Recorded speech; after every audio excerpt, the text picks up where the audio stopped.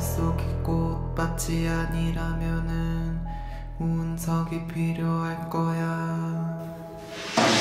이렇게 살 바에 운석이 떨어졌으면 좋겠어.